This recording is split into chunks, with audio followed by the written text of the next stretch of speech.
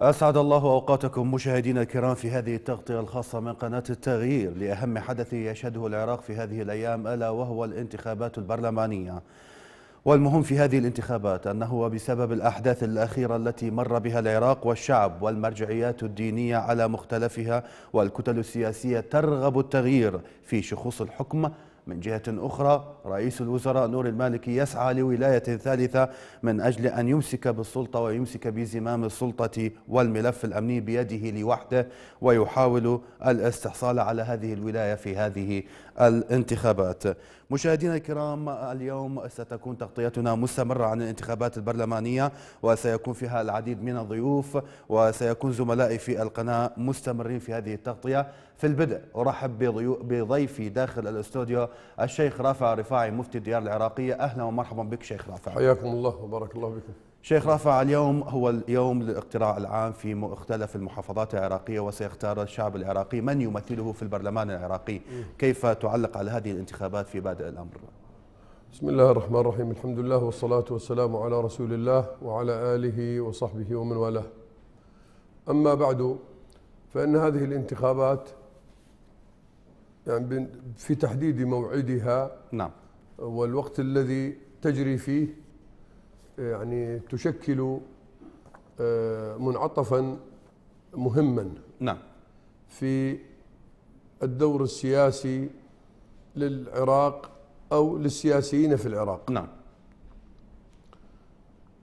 هذه الانتخابات قبل موعد التصويت الخاص وقبل هذا اليوم الذي نعم. تجري اليوم فيه الانتخابات العامة نعلم يقينا أنه سيجري فيها ما يجري من التهيئة من التزوير وغلق المراكز وإعطاء الأعذار لإبعاد كثير من الناس عن صناديق الاقتراع. نعم. والكل يعلم أنه قناتكم الآن تنقل لنا الأحداث أولا بأول. نعم. أن هنالك كذا مركز أغلق في المنطقة الفلانية وكذا مركز أغلق في المنطقة الفلانية وخاصة في المناطق آه، يعني التي آه، فيها يعني أغلبها من المحافظات المنتفضة. نعم. وفي المناطق حزام بغداد وما شاكل ذلك. هذا الذي يجري فيها وخاصة طبعا الأمور أسوأ في محافظة الأنبار. لذلك كنا نعتقد جازمين من البداية أن هذه الانتخابات لا يمكن أن تكون الحل الناجع الحقيقي لهذه المشكلة. نعم. مشكلة العراق أعقد بكثير من أن يتصور أحد أنها تحل بالانتخابات فقط. ولكن يرى الكثير أن هذه الانتخابات من الممكن أن تكون جزءا من الحل. نعم. من الممكن أن تكون, أن تكون جزءا. جزءا من الحل. نعم. وهل أن العراق حينما يذهب اليوم إلى الانتخابات يعد معترفا بشرعية هذه الانتخابات؟ الجميع يعلم أن الانتخابات اليوم فيها ما فيها من التزوير والإقصاء للناس والتهديد للوصول والتفجير الآن بدأ التفجير بالقنابل الصوتية كما في بعض المناطق. نعم. الكل يعلم أنها لا يمكن أن أن تبين حقيقة الصوت العراقي ومن يريد هذا العراقي. ونعرف السلطة المتنفذة سواء كانت في السلطة المركزية أو السلطة المحلية في بعض المحافظات. نعلم أن بيدها أساليب كثيرة تستعملها اليوم لغرض التزوير. نعم. هذا قادح طبعا في شرعيتها لا شك ولا ريب. وأنها آه، لن تؤدي النتيجة الحقيقية التي يرنو إليها العراقيون. نعم. ولكن القدر المشترك بين جميع العراقيين الآن. السواد السواد الأعظم من أبناء هذا العراق الكل يريدون التغيير. هذه العبارة أن الشعب يريد التغيير يعني أن هذا الشعب بكل أجزائه بكل تفاصيله من شماله إلى جنوبه من شرقه إلى غربه لم يرضى بالتصرف الحكومي اللئيم الذي تصرفته هذه الحكومة مع شعبها نعم. نحن الآن أمام حكومة حكمت برئاسة نور المالكي ثماني سنوات ثمانية سنوات نعم. حكمت هذه الحكومة ولم يجن منها الشعب العراقي خيرا أبدا. الفساد الإداري دب فيها دبيبا عجيبا. وهذا كله بعلم حكومة المركز. نعم. يعني إذا كان الفاسد من كتلته نجزم أنه لن يعاقبه وإنما يستر عليه. وإن كان من خصومه فإنه يدخر عليه ملفا لكي يكون لاويا لعنقه حتى يكون معه في كل مواقفه. هذا الأسلوب الذي استخدمه نعم. المالكي مع الناس. نعم. موضوع القتل والتهجير والسجون يعني أنه قبل هذه الأيام يعني الأعظمية وغير الأعظمية يعني بدأ يعتقل الناس بالعشرات. نعم. قوات سوات وغير قوات سوات تدخل وتداهم. كل ذلك الرجل يستقتل على الحصول على الولاية الثالثة. نظرة الناس ونظرة العلماء على هذا الموضوع من حيث خاصة الآن بتكلم عن العلماء من حيث أن ما دامت هذه يعني هذه الانتخابات ما الذي ستحدثه؟ نحن نقول هذا الأمر نسبي. نعم.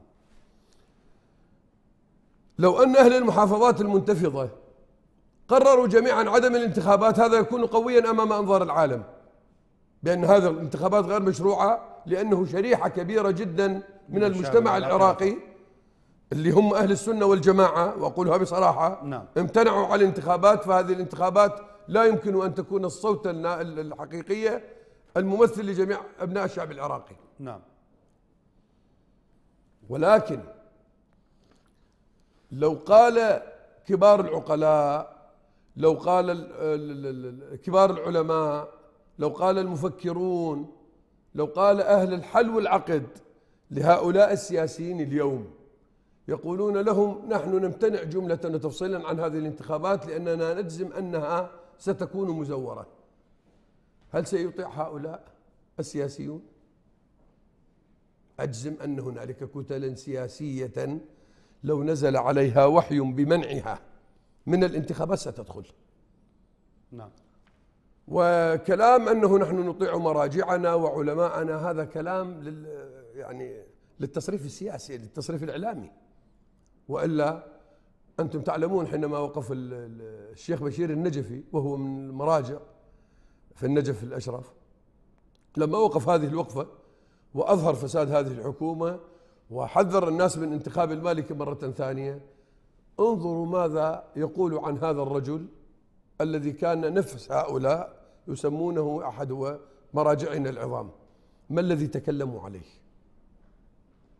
ورفض علي السيستاني التطاول على أحد على المراجع الدينية. على المراجع. وكان هناك تطويق أمني لمنزله.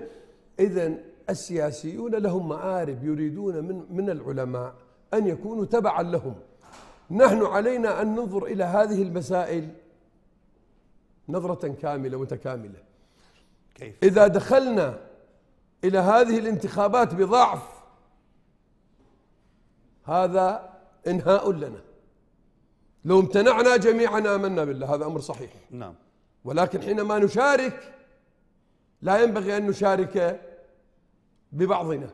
علينا أن نشارك جميعا في هذه الحالة. نعم. لذلك تسمع مثلا الدكتور أحمد الكبيسي والدكتور هاشم جميل وأمثالهم من كبار علمائنا الأفاضل يقولون بالوجوب بوجوب الذهاب إلى الانتخابات. وهذا ما صرحت فيه في وقت سابق بوجوب دخول الانتخابات, الانتخابات. للضرر الأقل. دفعا دفعا للضرر الأشد الذي سيقع علينا. هذا ما ذهب إليه الدكتور ولكن نحن نقول حقيقة وطبعا وهذه النظرة لها لها ما يبررها. أما العلماء الذين قالوا مثلا بحرمة هذه الانتخابات لما يشوبها من تزوير ما تزوير آمنا بالله. آه هذا ينبغي أن تتهيأ له الأرضية في الاستجابة. أما إذا نصف استجابوا والنصف الآخر لم يستجب هذا سيكون ضرره كبيرا نعم. على أهل هذه المحافظات. لذلك اليوم قد بدأت الانتخابات وبالأمس وقبلها يعني بدأت. جرى التصويت الخاص وجرى ما جرى بعد ذلك نحن نقول للناس الأهم أنه أنت تذهب إلى الانتخابات وتصوت للصالح دفعا لغير الصالح من أن يستغل صوتك للتزوير يعني الفتوى التي أصدرناها وتبنتها الأمانة العليا للإفتاء وتبناها المفتي يعني المتحدث. نعم الشيخ رافع الرفاعي. يعني تبنينا هذه الفتوى بشروطها وضوابطها وتوجيهاتها التي توجه الإنسان لمن ينتخب ولمن لا ينتخب. نعم. فإذا التزمنا بهذه الضوابط وتركنا الانتخابات على أساس طائفي أو على أساس عشائري أو على أساس إثني أو على أساس سياسي أنا من الحزب الفلاني يجب أن انتخب انتخب فلان من ذلك من نفس الحزب لأنه يمثل حزبي إذا كنت بهذه العقلية وأترك من هو خير منه. من هو خير منه؟ نعم. أنا أثم يقينا. لكن شيخ أنت أشرت إلى نقطة مهمة وهي جيدة أن أن هذه الانتخابات هي جزء من الحل وأن الشعب العراقي يرفض الذي حدث من الحكومة العراقية لأنه ظلم وحيف كبير. لكن ألا تجد أن ما قامت به الحكومة العراقية وحد الشعب مرة أخرى ووحدهم على كلمة واحدة وهي لا للولاية الثالثة ولا للظلم ولا للفساد ولا لكل ما تقوم به هذه الحكومة حاليا. الانتخابات هل هي الحل الكلي لمشاكلنا؟ يستحيل أن تكون الحل. في المسيرة الديمقراطية نعم. أوهن خيوط ودرجات يعني واهم أوهن خيوط الأسباب التي تؤدي إلى تحقيق الديمقراطية في أي بلد موضوع الانتخابات وخاصة في بلداننا. وخاصة في بلداننا. لأن الانتخابات تستحيل أن تكون نزيهة. فيصعد فيها الفاسد والمبدع في التزوير وغيرها ممكن. ولكن يعني على حد كثير من علمائنا يقولون ما لا يدرك جله لا يترك كله. ذهب الكل الآن الأغلبية العظمى من العلماء إلى أننا نذهب ونصحح ما استطعنا من التصحيح. يعني حينما نقول الآن الناس يعني تذهب إلى الانتخابات وتدلي بأصواتها يعني هل ستحصل على ما تريد؟ مئة في المئة لا هذا لا يمكن أن يكون. ولكن مع ذلك نذهب ونختار الحسن أو إذا ما في يعني إذا لا يوجد حسن نعم. في نظر بعض الناس يقول لك هؤلاء كلهم كذا. نقول اختار أهون السيئين دفعا للضرر الأشد. نعم. ومع ذلك علينا أن نسعى في كل ما يؤدي إلى خطوة صغيرة في جانب التغيير. وإلا أقول لك بصراحة إن استولى المالكي على السلطة مرة ثالثة فالنتيجة التي ستترتب على العراق تتلخص في اولا تقسيم العراق. نعم. أنا أجزم بأن إقليم كردستان سيعلن دولة إذا ما استولى المالكي وينفصل عن العراق نهائيا. إذا ما استولى على كيف تعلق على تصريحه الأخير بأنه كان الحامي لوحده العراق وأنه من وقف بوجه مشروع تقسيم العراق؟ وماذا تريد عنه أن يقول يعني؟ هل يقول أنا الذي قتلت العراقيين أنا الذي هجرت العراقيين أنا الذي سجنت الأبرياء أنا الذي فعلت كذا أنا الذي فعلت كذا؟ يعني هو في دورة انتخابية طبعا هو حامي حامي الحمى. هو حامي للسراق كان هذا الرجل كان حاميا للسراق جامعا للقتل من كل الميليشيات القذرة. يتلذذ يتلذذ أتباعه بتعذيب الأبرياء. يرسل الميليشيات القذرة لتنتهك حرمات النساء والبيوت ويهدم البيوت على رؤوس أطفالها. هذا الذي يفعله المالكي. نحن آه، حينما يقول يعني أنا قلتها وفي هذه القناة وأذكر في هذا المكان. أصدق كلمة قالها العراقيون في تظاهراتهم كذاب نور المالكي. هذا اتخذ من الكذب سلما للوصول إلى مبتغاه. فإذا ولا يعني أن المالكي حينما يكون بهذا المستوى الضحل نعم. أن الممثلين لنا الذين كانوا في البرلمان أو في الحكومة كانوا أشراف أه، لو سمحت لي في البدء أه، دعني أرحب بضيفي عبر الأقمار الصناعية شيخ هلال الشيخ الخزعل أمير قبائل بني كعب في العراق. أهلا ومرحبا بك في قناة تغيير في تغطيتنا المستمرة عن هذه الانتخابات. ووردنا الخبر التالي والآن أن ميليشيات عصائب أهل الحق وميليشيات بدر قاموا بالسيطرة على مراكز الانتخابات في مناطق اليوسفية أو في منطقة اليوسفية في بغداد. هذا الخبر وردنا للتو من مراسلين في في العاصمة العراقية بغداد. كيف تعلق على هذا الأمر؟ هذا متوقع وكأننا نراه بأم أعيننا وأنا أخبرك أن قوات بدر أيضا والعصائب ستفعل نفس الفعل في ديالة. وهم متهيئون لهذا ونحن نجزم بأن هذا سيحصل. ولكن هل أفسح لهم المجال بأن يفعلوا أكثر في بقية المراكز؟ أم أنني أذهب ليقلل من ضررهم؟ هذا ما نقوله. طيب. دعني أنتقل إلى ضيفي عبر الأقمار الصناعية شيخ هلال الشيخ آه، الخزعل. أهلا ومرحبا بك شيخ هلال في تغطيتنا المستمرة. حياك الله أستاذ فل أه بداية شيخ أهلا بك في قناة التغيير وبكل العراقيين في هذه القناة من منبركم آه، منبر قناة التغيير الفضائية. اليوم تغطيتنا عن الانتخابات العراقية البرلمانية. آه، كيف تعلقون على هذه الانتخابات؟ وأنتم كقبائل بني كعب في العراق ما هي تطلعاتكم من هذه الانتخابات؟ السلام عليكم ورحمة الله. أه بداية نقول أنه آه، قبائل بني كعب هم جزء من الشعب العراقي والانتخابات هي ملك للشعب العراقي في الدرجة الأولى. من أراد القيادة عليه أن يطيع الشعب. من أراد القيادة عليه أن يأخذ بأوامر الشعب. نعم. ماذا يريد الشعب؟ ماذا يريد اليوم؟ هي عبارة عن ثورة ولكن ثورة سلمية ثورة للتغيير من جميع الأطياف ومن جميع آه، مكونات الشعب العراقي. بضمنهم قبائل بني كعب اللي هم جزء كما آه، ذكرنا. وإحنا آه، كانت المرحلة السابقة هي مرحلة انتقالية. المراحل الانتقالية تجري فيها استثناءات. ككثرة الحمايات الشخصية والامتيازات والامور اللي اللي يجب أن نتجاوزها. وثانيا آه، ضياع الحكومة من بعد ما آه، دخلت قوات الاحتلال ودخلوا معاها. مجموعة من السلطة التهوا في آه، قضاياهم الخاصة وتركوا الجهاز الحكومي يعيث فسادا ويظلم المواطنين. فإحنا نبدأ على معايير التغيير نعم. معايير التغيير جدا مهمة. ما ما هي معايير التغيير؟ التغيير أنه هل أقيس أنه هذا متخذ حزبا باسم الله ويقول لك إذا أنت تحب الله تنتخبني هذا ما لا لا, لا تجوز وغير موجودة. لا أحد يمتلك الدين ولا أحد يمتلك الشعب ولا أحد يمتلك الوطن. نعم. وأن الوطن يجب أن لا يدخل من خلال واحد اسمه أبو زيد الهلالي أو عنترة بن شداد. نعم. الأمور يجب أن تقاس بمقاييس. الشباب يستطيعون التغيير. البلد بلدكم. ال ال ال ال الانتخابات هي ملك الشعب.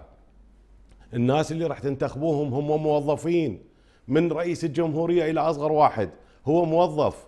هو ليس مؤله أو, أو ولي من أولياء الله الصالحين اللي تخلونه بدون بدون تواجده كما حدث في وضع رئيس الجمهورية. رئيس الجمهورية غير موجود من سنتين والبلد تايهة. أه، وين المقاييس؟ رئيس رئيس وزراء يستلم سبع سلطات. سبع سلطات ما يقدرون يجيبون واحد وذكرناها من خلال محطتكم.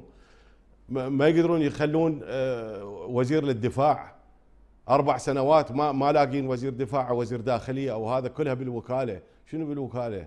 وكالة شهر شهرين ثلاثة. الشعب العراق بعد ما يمتلك أي كفاءة إنه تقعد في في مناصب معينة وتستلم مسؤولياته.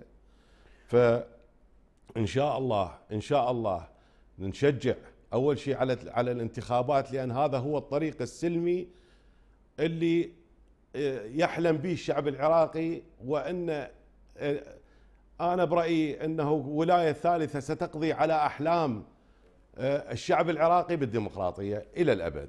طيب. معناته راح نكون إحنا مرة ثانية مجددين إلى القائد الفلتة والقائد الضرورة والمختار مختارين الالقاب هاي اللي طيب طيب شيخ هلال ما هي الرسالة التي توجهها بكونك أمير لقبائل بني كعب لعشائر بني كعب؟ أستاذي من خلال قناتكم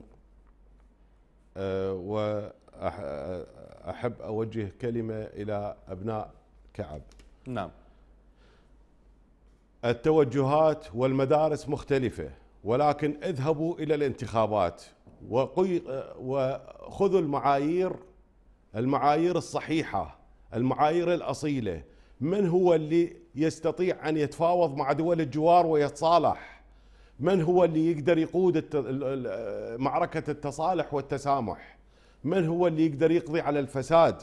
ما هي الحلول اللي طرحها؟ الكل صاحت إنه إحنا ضد الفساد. نعم. ولكن ما هو الحل؟ كيف راح شلون راح تسوي هذا يقول أنا ضد الفساد وذاك يقول أنا ضد الفساد. إخواني ما هو الحل للقضاء على الفساد؟ ما هو الحل لتجنب الدكتاتورية الجديدة اللي اللي جاي تثقف لها بهالفترة هاي؟ كيف؟ ما يخالف راح تصير في تزويرات مثل ما تفضل فضيلة الشيخ ضيفك آه، الكريم. نعم. آه، راح تصير في تزويرات وراح تصير في آه، سلبيات لكن إحنا ماشيين على هذا النهج ولا عودة ولا عودة منه. رفع السلاح بوجه بوجه الشعب العراقي مهما كان من حملات تأديبية يقودها شخص هو غير عسكري أصلا. ويوجهها على مرة على البصرة مرة على انبار مرة على هذه خلافات مع مع دول الجوار. حرب أهلية آه، باسم تحت اسم حملات تأديبية كيف أنت واحد ضدك بالرأي تروح تشهر عليه السلاح؟ باي بأي قيمة بأي مبادئ هذه؟ السلاح لا يشهر بوجه الشعب. ثم القائد العام للقوات المسلحة لما يريد يوجه جيش مو لازم ياخذ موافقة البرلمان لو أنا غلطان. نعم. فأبنائي أبناء كعب كونوا لا تفكرون أمام آه، مصلحة معينة أو مصلحة خاصة أو صديق أو أو كذا. شوفوا الشخص هذا اللي اللي اللي راح يجي. هل يستطيع؟ عضو بالبرلمان أن أن يقابل عضو برلمان في الدول العربية أو في دول العالم. هل هو عنده هاي الإمكانية؟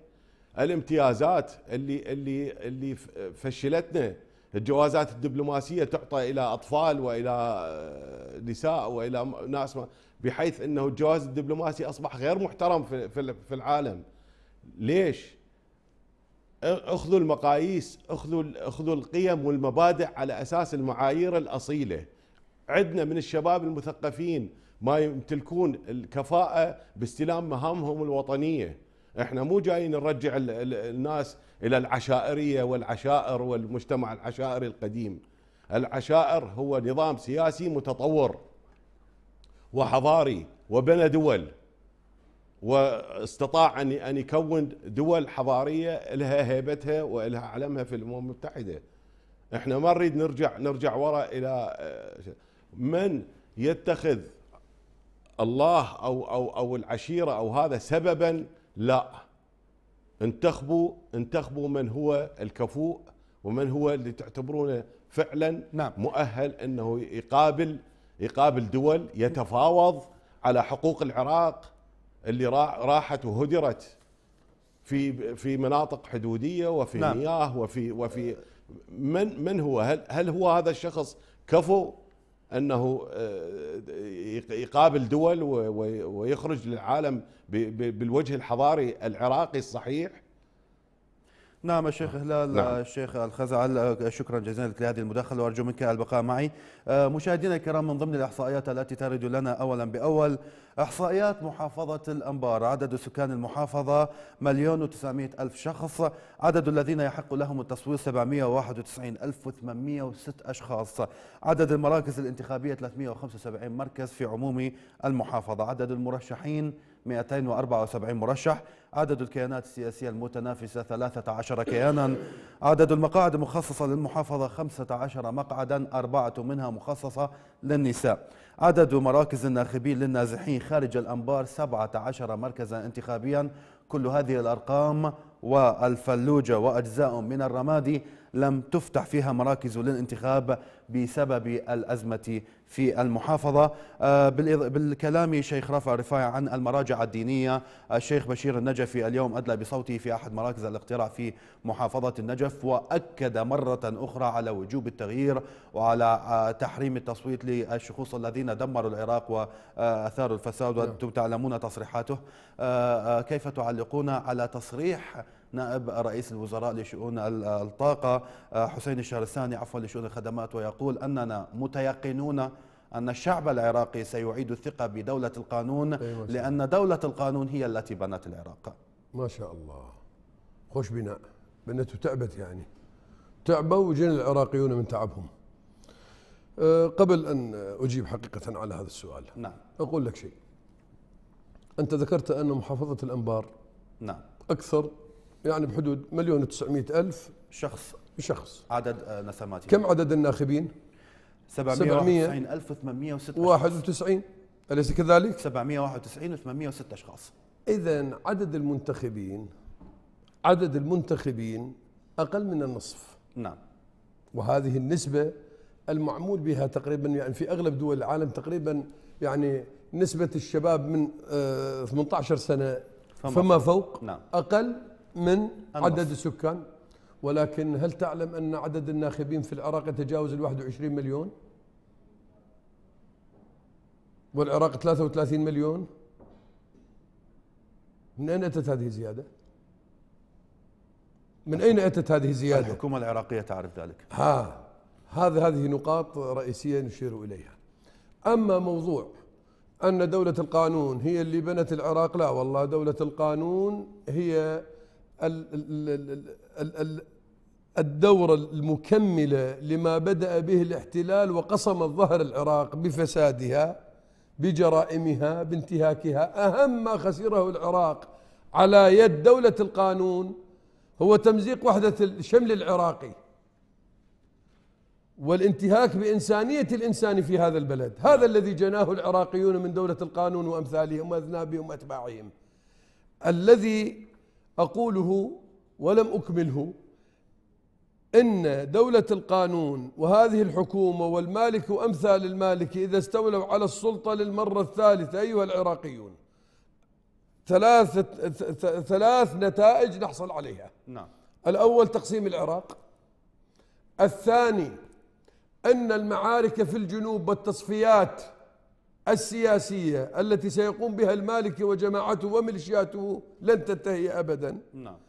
ثلاثة مناطقنا في شرق العراق في ديالة وفي غربه في الأنبار وأمثال الأنبار وفي المحافظات الست المنتفضة ستبقى نار الحرب مشتعلة على يد هذا الرجل القاتل الأفاك الذي لا يريد بالعراقيين خيرا. لذلك نحن نسعى للتغيير. نحن نسعى لوحدة العراق. نحن نسعى لأن نعيش أخوة متحابين في بلدنا وأن نرجع كما كنا. ونتخذ كل وسيلة من الممكن أن تؤدي دورا للوصول إلى هذا التغيير. أما أن نقف عند حد الانتخابات ولا نسعى بعد ذلك ونضع الأمر بيد النواب والنواب كما علمتم يعني نواب البرلمان في الدورة الماضية بين سارق وبين ناهب وبين نائم وبين مصفق للمالكي الآن كلها طلعت وطنية. لما نعم. تقرأ اللافتات يعني تجد الناس وطنيين يعني حيل. ولكن بهم يعني ما رأينا ما رأيناه أبدا أدلى بكلمة. نعم. فهؤلاء أمثال هؤلاء الذين لم يقدموا خيرا لأهلهم بالدورات الماضية يقينا أنه يحرم انتخابهم وعلى الناس أن يحذروهم. الناس الذين لم يسحبوا الثقة لم يوقعوا على سحب الثقة من المالكي الذين امتنعوا عن التوقيع لسحب الثقة من المالك هؤلاء يحرم انتخابهم. الذين وقفوا مع المالك وسابحبوا تواقعهم مرة أخرى يحرم انتخابهم. الذين طلب منهم أن يستقيلوا وقفة يعني لإظهار موقف مع أهلهم وامتنعوا وقدموا المنصب على أهلهم يحرم انتخابهم لأن هؤلاء لا يرتجى خيرهم. الذي يذهب ليستجدي المناصب من إيران ومن قيادات الميليشيات التي تقتل أبناءنا اليوم في العراق. هذا يحرم انتخابه. الذي الذي ينتخب السارق هو سارق. إثمه إثم السارق. والذي ينتخب القاتل هو قاتل وعليه إثم القاتل. لا تكونوا أسبابا لتدمير العراق. كونوا يدا واحدة للتغيير ولإيقاف هذا البلد على قدميه. لكن لسان حال الشعب العراقي يقول ماذا لو ذهبت وانتخبت من أراه مناسبا لكي يمثلني في البرلمان العراقي المقبل؟ ويحصل التزوير وأجد نور المالكي مرة أخرى على سدة الحكم ويحكم العراق. لا لا لا. إن شاء الله إن شاء الله بهمة الخيرين من أبناء هذا البلد. البلد فيه من الخيرين الكثير. وكما يقال لو خليت لقلبت. المالكي الآن هذا الأمر أصبح بعيد المنال عنه. والذي والذي يعني أعتقده أن المالكي هو يعلم أنه لن يحصل على الولاية الثالثة. نعم. ولكنه الآن متشبث عله يجد ما يوصله إليها ولو بأسلوب يعني بأي أسلوب وبأي وسيلة. السبب في ذلك لأنه يجزم أنه أن المحاكم الدولية ومحاكم حقوق الإنسان ستلاحقه أبد الآبدين وأن العراقيين لن يتركوه يفر بجرائمه من هذا البلد. نعم. هذا الذي يجعل المالكي أكثر تمسكا بالكرسي. أما أنه هل هو آه، الشهرستاني أو صاحب التراخيص النفط لو غيره يعني. هذه التراخيص والمزايدات التي أعلنت عن النفط أين الإنتاج؟ هل زاد الإنتاج؟ وإنما هؤلاء الآن يفرضون حصصهم ويأخذونها والنفط لم يصدر بسبب بسبب سوء الإدارة. أنت فتحت تراخيص وبدأت الآبار مهيئة للإنتاج نعم. ولكن ما عندك تسويق يا شهرستاني والآن هذه الشركات تأخذ من العراق حقها من غير أن يصدر النفط. هذا كله خسارة على الشعب العراقي. هذه السياسات الفاسدة. العراق صرف على الكهرباء الآن ما يكفي الشرق الأوسط. كهرباء والكهرباء الآن ما موجودة بالعراق. نحن عشنا هذه السنوات مع ثلة من القتلة من المجرمين من السراق. نعم. نعم. فلا بد وهذا ما أكرره دائما أن نكنس هذه المزبلة. نعم. ائتونا بأناس أخيار ساهم. يعني ماذا يفعل الإنسان حينما يجد نارا وينفخ بفمه؟ نعم أحصل على الأجر. أقل ما يقدر أن تحصل على الأجر. نعم الشيخ رافع رفاعي مفتي ديار العراقية. شكرا جزيلا لك. لانضمامك إلينا اليوم في تغطية قناة التغيير لهذه الانتخابات. ونشكر لك هذه المداخلة. شكرا جزيلا لك. آه، مشاهدينا الكرام آخر إحصائية لمحافظة كربلاء. 550 ألف ناخة في كربلاء يحق لهم المشاركة يتوافدون على مراكز الاقتراع منذ صباح الباكر. عدد المقاعد 11 مقعدا. عدد المرشحين 312 منهم 255 من الرجال و87 من النساء. الشيخ هلال أعود إليك بالسؤال. اليوم آه، زعيم التيار الصدري السيد مقتدى الصدر أثناء الإدلاء بصوته يقول أن هذه الانتخابات هي فرصة للتغيير ويجب على الشعب العراقي أن يشارك بشكل كبير، كيف تعلق؟ طبعا نتفق نتفق مع سماحة السيد آه، مقتدى الصدر في هذا الطرح وهو آه، لا ننسى أنه قاد ثورة الجياع في البداية وكانت النوايا جدا جدا حسنة وبارك الله به وبارك الله بجهوده. هذا فشي إحنا طبعا هذا آه، شيء كبير. أما نرجع نقول أنه الانتخابات الانتخابات اليوم هي الكثافة اللي اللي دخلت بها الانتخابات اللي يعني الناس اللي اللي جت هي للتغيير وأملها بالتغيير بالرغم إنه نعرف إنه راح تصير فيها بعض المشاكل والتزويرات والهاي ولكن نعود ونذكر إنه لا يوجد قائد أوحد ولا نعم. يوجد زعيم أوحد ولا تخلقوا ولا تخلقوا قائد أوحد ما ما في أحد يقدر يدير البلد بيد واحدة. البلد كبيرة وفيها مجالات كثيرة والقيادات يجب أن تستلم قيادات الدوائر وقيادات المجالس وقيادات البرلمان. فالبلد تحتاج بداية إلى ناس تبدأ بالعمل والمصالحة ونسيان الماضي ونسيان الدم والثأرات لأنه إذا استمرينا بهالشكل هذه معناته العراق سيبدأ هذا قتل هذا وهذا قتل هذا وسمعنا بعض النواب أو النائبات تقول سبعة بسبعة أو عشرة بعشرة هذا هذا كلام آه، يجب أن آه، يعني آه، والله يعني عيب هاي مهزلة ما يصير. الشعب العراقي الحكومة لا ترفع السلاح بوجه الشعب مهما كان أما أنه تجون تقولوا لي أنه في قوات من هذول داعش ما أعرف منو هذول شنو هالشرذمة؟ إحنا العراق ما خاف من 30 دولة في وقتها والعراقيين سباع أنا ما أحكي عن عن نظام سابق أو نظام لاحق. العراقيين استطاعوا أن يبنون البلد بعد بعد ضربته في سنة التسعين بمده ست اشهر وما استعانوا لا بأجنبي ولا بطاقات بإمكانياتهم الذاتية. العراق يستطيع. شنو شنو نحيي الجيش العراقي ونحيي أبناء الداخلية العراقية؟ أنتم أخذوا استقلاليتكم وامشوا برأي الناس وبرأي الشعب. أنتم حماة الشعب. أنتم مو حماة القائد. ماكو شيء اسمه حماة القائد. هذه مؤسسة والمؤسسة العسكرية العراقية تستطيع أن تقضي على كم واحد من هالجرذان اللي موجودين في في هنا أو هناك. ولكن آه، آه، العراق ما يخاف من دول. آه، أربع خمس نفرات ما يقدر احموا احموا الحدود مالتكم. حدودنا كانت محمية بسيارات بسيطة واليوم أنتم عندكم الإمكانيات هذه كلها. عفوا.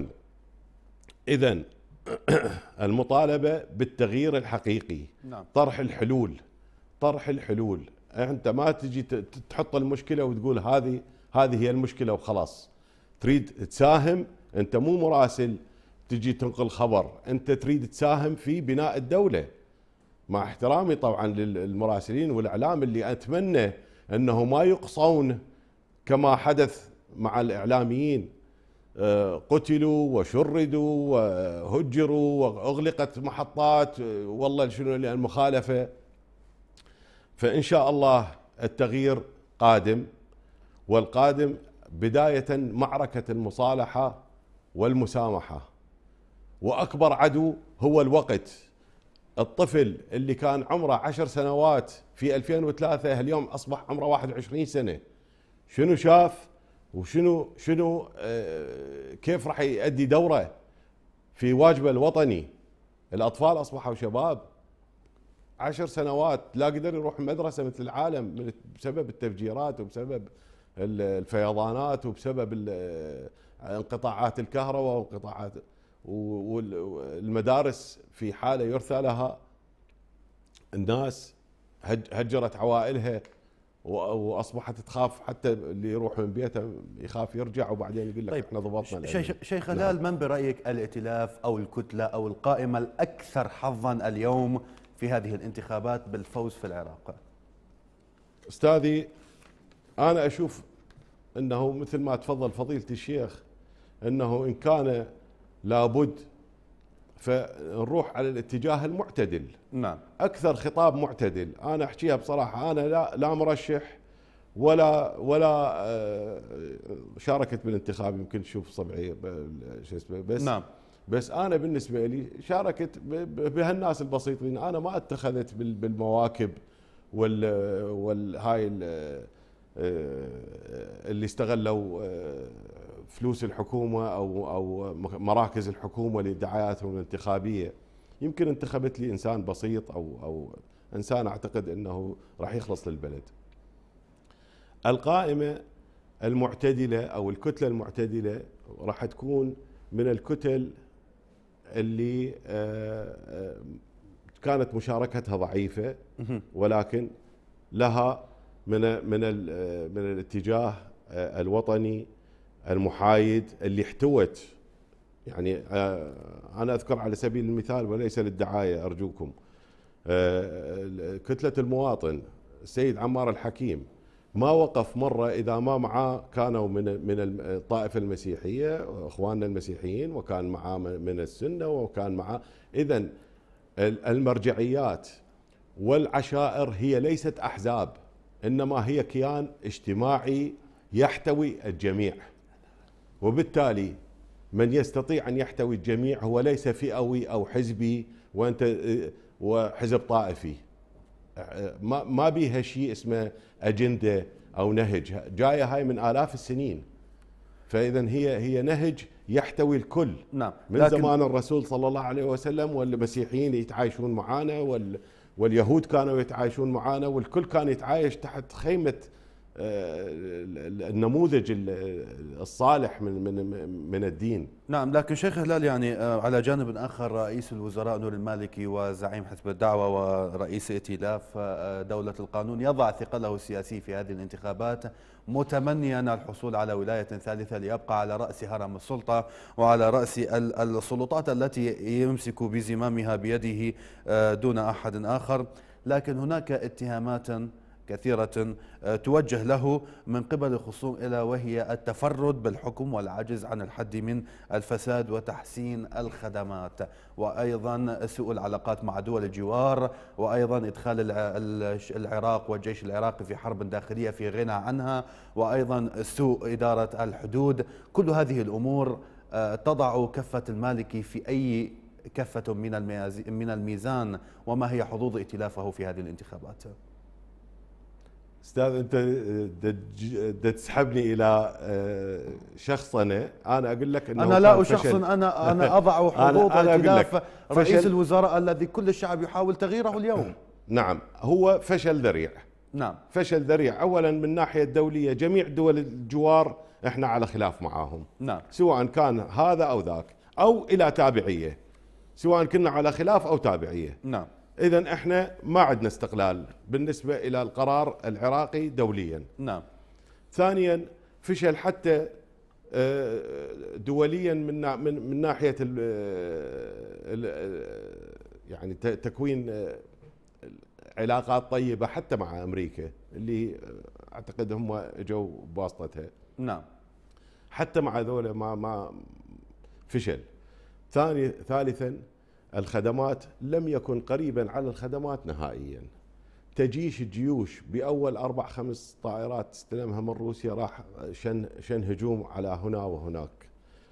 لا نعلم آه، يعني شنو إذا خالفوك. أول شيء أنت كنت قايل إنه هاي مطالب مشروعة في الأنبار. نعم. ثم أصبحت غير مشروعة وثم صاروا صاروا آه، آه، عصابات إرهابية وثم شنيت عليهم حملة وبديت تقتل يعني اللي يضرب اللي يضرب بالمدافع واللي يضرب بالهاونات هل هاي راح تعرف إنه هذا مقاتل أو هذا طفل أو أو امرأة؟ يعني على كل فاذا الفشل فشل كان آه، في في المرحلة السابقة فشلا ذريعا بكل النواحي وفي كل المقاييس وليس هناك خطة خمسية. أهم شيء كان أي حكومة تجي راح فلان اجى فلان ما في خطة خمسية وضعها إنه يابا هذا هو هو النهج اللي راح نمشي عليه موافقين أيها العراقيين أم لا واحتوى أكثر أعضاء البرلمان في. داخل المنطقة الخضراء وأعطاهم ميزات وهذه رشوة غير آه، يعني مباشرة نعم أعطاهم الميزات وأعطاهم الباجات وأعطاهم الحمايات حمايات ليش؟ يعني 300 واحد كل واحد عنده 30 هاي 9000 واحد 9000 واحد والوزراء والباقين المسؤولين كل واحد 40 50 صار عندك جيش وانت عندك مليون مليون من جيش. كانت الحمايات في في وقتها آه، ضرورة آه، في مرحلية. أما لما اكتمل الجيش واكتملت الداخلية شنو بعد هذول الحمايات واصبح أصبح جيش مع جيش ثالث؟ وهذا مثل ما تفضل فضيلة الشيخ إنه ميليشيات أو حضرتك من قلت إنه هاي الميليشيات جاي تدخل هسه على المراكز الانتخابية. ميليشيات عصائب أهل الحق وميليشيات بدر هذه هذه هذه مرخصه. مرخصة من من من- وزارة الداخلية. سلاحهم مرخص من وزارة الداخلية. وهم ليش ليسوا جيش. اذا بال بال بال بالتأكيد لكلامك اذا أو عفوا لتفسير كلامك هناك ثلاثة جيوش في العراق هو الجيش العراقي وجيش الحمايات بالنسبة للمسؤولين وجيش الميليشيات الذي يعيث في الأرض فسادا. بالضبط. بالضبط. وهذا هاي لا تجوز. زين أنتم بدل بدل هذه الأسلحة هذه ال- ال- ال- الكمية الهائلة ابنوا البلد. طيب ثم- بالنسبة ثم- إلى الانتخابات يعني الشعب العراقي أو أو فئة معينة من الشعب العراقي أو جزء من محافظات العراق متخوفة من آه، تهديدات الميليشيات. أنا أتكلم عن محافظة ديالا التي آه، هددوا فيها الناخبين آه، بعدم الذهاب إلى مراكز الاقتراع إما القتل وإما آه، ال- ال- التعذيب. يعني كيف تعلق على هذا الأمر؟ والله ال- ال- العراق ملك العراقيين. نعم. وملك الشعب العراقي. وأنتم قاومتوا وقاومتوا في في في في أزمان كثيرة من من من العشرينات وحتى اليوم. لم تخافوا ولم تهابوا التهديدات وال وال والوعيد وأكبر من هذا. جت جت علينا دول وحاربنا وقاتلنا وكان العراقيين يعني أنا أذكر مع الأسف أن الشعب العراقي كان تحت القصف تحت القصف وكان يعني آه، غير مبالي غير نعم. مبالي وغير خائف. فشنو تهديدات كم واحد هذول؟ هذول مين هذول؟ منين إجوا؟ وعلى أي أساس جاي يهددون؟ وليش نخاف من تهديدهم؟ اخرجوا إلى الانتخابات واختاروا الجيد. أنا ما ما أنصح آه، باتجاه معين أو انتخاب معين. نعم. لأن المدارس مختلفة. والمشارب مختلفة والاتجاهات مختلفة. آه، انتخب اللي اللي المعايير أخذ المعايير لا تأخذها على أساس طائفي أو ديني أو عرقي أو اختار الشخص اللي ممكن تشوفه أمام يقف أمام وزير خارجية فلان دولة أو يحمي مصالح العراق في في في فلان محفل دولي. هل هذا صحيح؟ هل هو هذا يقدر؟ أم هو بس أمر عاطفي إنه هذا ابن عمنا وابن خالنا؟ طيب يعني هناك أيضا آم، مفوضية الانتخابات في محافظة ديقار أكدت أن مراكز الاقتراع شهدت اقبالا واسعا من قبل المواطنين لكنها أشارت ضمنيا في الخبر أنها أرجعت 160 ألف بطاقة انتخابية إلى مفوضية الانتخابات في بغداد. لم يتم تسليمها إلى أصحابها من مليون و75 ألف بطاقة انتخابية في المحافظة. للناخبين الذين يحق لهم التصويت هذا يعني أن 160 ألف صوت من أصوات الشعب العراقي سيحرمون اليوم من الانتخاب. ما رأيك؟ في محافظة واحدة هذه. نعم. هذه جزء من المعركة آه، ال- الغير عادلة آه، ضد الشعب العراقي ل- ل- للولاية الثالثة. ه- هذه آه، يعني راح آه، نقولها بكل صراحة مع الأسف. نعم. إنه تهميش تهميش فئة كبيرة من الشعب العراقي. أنت كيف راح تتصالح معاهم؟ لنفترض خلينا ننظر بعد بعد الانتخابات. هذول جزء من الشعب العراقي. ماذا ستفعل؟ لنفرض أنك أنت جلست في سدة الحكم مرة, ثانية. نعم. شنو راح تسوي؟ كيف راح تتعامل معاهم؟ راح تجيبهم وتصالحهم؟ هل سيقبلون الص- الصلح معك يعني ما يصير أنت توجه آه، آه، يعني عدا- عدائك ضد فئات من الشعب ومن ومن لا يتفق معك. وكما تفضل فضيلة الشيخ أنه الأكراد آه، بكرة آه، ما يتفقون معك فيستقلون بدولتهم شو تقدر تسوي أنت؟ شنو شنو إمكانيتك؟ نعم بالكلام عن عن؟ عن تقسيم العراق في حال فوز المالكي بولاية ثالثة، لكن يعني آه، هل تعتقد أن المفوضية العليا المستقلة للانتخابات وفقت بتوظيف البطاقة الإلكترونية في هذا الوقت القليل والقصير جدا خصوصا أن هناك ست محافظات تشهد اعتصامات وهناك محافظة أو أكثر من محافظة في العراق وضعها ملتهب أمنيا. هناك حرب في الأنبار هناك ميليشيات تعيث في الأرض فسادا في محافظة ديالى هناك أيضا ما يحصل في الموصل هناك تفجير يومي هناك سيارة ملغمة أو أو عبوة ناسفة تستهدف الشعب العراقي يوما بيوم وتقتل الطفل والمرأة والرجل والشيخ والمسن. يعني هذه البطاقة الإلكترونية ألا, ألا من المفترض أن يكون على المفوضية أن تبدأ بها قبل عام أو عامين لكي تصل إلى جميع فئات وصنوف الشعب العراقي؟ بالتأكيد بالتأكيد أتفق معك مية المية. ليش؟ لأن في دولة الإمارات شغل يعني بلد ما ما يطلع نفوسه عدد محافظة واحدة بالعراق. نعم. آه ثلاث سنوات طولوا إلى أن وحدوا البطاقة. عندهم. في في دولة يعني دولة صغيرة وممكن حصرها بشكل جدا سهل. فما بالك بالنسبة للعراق؟ وهذه الفوضى اللي صايرة فيه والناس اللي ما آه، يعني ما متعلمة وقد قد وصولها إلى مراكز المدن بعيدة. ناس قاعدين في في الأرياف ولا ف فعلا أتفق معك 100% إنه كان لازم البطاقة الموحدة أو البطاقة الإلكترونية كان لازم وكان يجب أن تعطى إلى العراقيين في الخارج كذلك. بالكلام عن البطاقة الإلكترونية ورد لنا الخبر العاجل التالي يقول آه، مركز التعاون في قضاء بلد أوقف التصويت في هذا المركز أو أوقف التصويت في هذا المركز بحجة عطل الأجهزة الإلكترونية هناك عطل أجهزة البصمة. يعني في الاقتراع الخاص حصل عطل في الأجهزة وأيضا في الاقتراع العام يحصل العديد من العطلات في الأجهزة. يعني كيف تعلقون على هذا الأمر وكيف ستتعامل المفوضية مع هذا الأمر؟ وإن انتهى التصويت اليوم ولم يصوت أي ناخب يريد أن يصوت ومصر على تصويته كيف سيرضى بهذا الأمر. لكم الله يا العراقيين لكم الله لأنه ليش في مناطق معينة بس آه، تتعطل الأجهزة أو أو ما توصل البطاقات الانتخابية. في مناطق معينة محددة جدا. ليش ما صارت في مناطق أخرى؟ اللي هي المؤيدة لل... المال السياسي يا سيدي يلعب دور كبير. نعم. وهذه الأموال هي أموال الناس وأموال الشعب. نعم. هذول الحكومة هم موظفين عندكم. هم موظفين عند الشعب. ومن لا يحترم أمر الشعب لا يكون قياديا.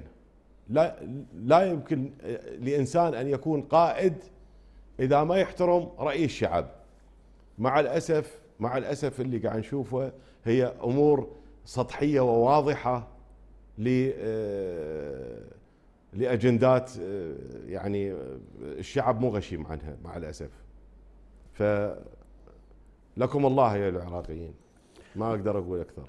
نعم يعني اليوم يعني عمليات الاقتراع في آه، مختلف وعموم محافظات العراق من بغداد إلى جميع محافظات العراق في شماله وجنوبه ووسطه وشرقه وغربه تشهد العديد من المعوقات التي آه، تشوب هذه العملية والتي تقف بوجه المواطن الذي يحاول أن يوصل صوته وأن يوصل ما تكرمتم به. لكن أحد هذه المعوقات هي ما تفرضه القوات الأمنية من حظر للتجوال على المركبات لكن آه، هذا الأمر مطلوب. هل تتوقعون من القوات الأمنية أن توقف بعض الأشخاص أو أن تمنع بعض الأشخاص مثل ما حصل في انتخابات مجالس المحافظات من الوصول إلى مراكز الاقتراع؟ وكيف سيتم التعامل مع هذا الأمر من قبل الشعب؟ الناس اليوم متخوفون من حدوث الأسوأ ومن دخول البلاد في منزلق الحرب الأهلية. أنا أوجه كلامي أستاذي إلى أفراد الشرطة والأمن العراقي الغيارة. نعم. أنتم أبناء البلد هذا. نعم. وأنتم لستم تابعين إلى هذا وذاك. أنتم تابعين إلى الناس والشعب. فإذا كان عندكم أوامر من جهات معينة بمنع وصول بعض الفئات من الشعب لا تلتزموا فيها. نعم. لأنه هذا آه، آه، أنت راتبك من الشعب وليس من من من القائد الفلتة. وليس من من من الحزب الفلاني. حتى لو إن التعيين تم عن طريق آه، جهة معينة أو أو ساعدتك جهة معينة و و وأخبرتك إنه إحنا إذا طلعنا أنت طالع ماكو شيء نعم. إن أنتم مهنيين والتزموا بمهنكم وأنتم الشعب دا يحتمي بيكم. فأنتم نعم. لازم تكونون نعم القدوة آه، آه. وتفتحون المجال نعم. لاي انسان إنه يوصل نعم مشاهدينا الكرام آه، تغطية قناة التغيير آه، لهذا اليوم لتغطية الانتخابات العامة البرلمانية في العراق مستمرة وسأنتقل بكم إلى زميلتي في ريال شنق لتكملة هذه التغطية ولكن بعد هذا الفاصل